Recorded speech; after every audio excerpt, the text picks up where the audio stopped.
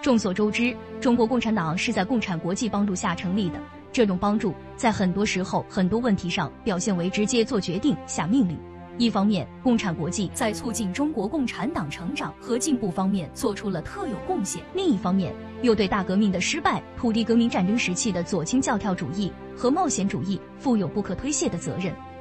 毛主席比较早的开始了独立自主的革命实践，产生了独立自主的意识。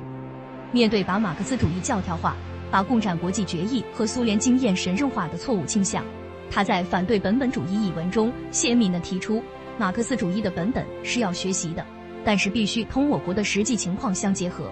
中国革命斗争的胜利要和中国同志们了解中国情况。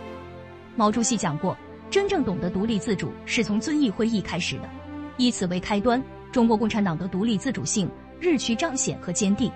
在处理抗日民族统一战线中与各种政治力量，尤其是国共两党的复杂关系中，在处理与共产国际、苏联共产党的关系中，在处理与美、英、苏等大国的关系中，以毛主席为主要代表的中国共产党人积累了丰富的独立自主经验。新中国成立后，奉行独立自主基础上的一边倒外交方针，站在以苏联为首的社会主义阵营一边，以壮大国际共产主义力量。打破帝国主义对新中国的封锁的同时，在接受苏联援助，尤其是新技术援助的同时，对于维护国家主权和民族尊严、独立自主的处理内政外交事务，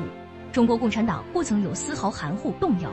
毛主席的话掷地有声，他说：“要讲政治条件，连半个指头都不行。”